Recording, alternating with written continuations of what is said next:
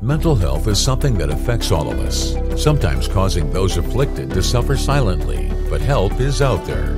We explore the different symptoms associated with a mental crisis and the resources available to them. Tonight at 6.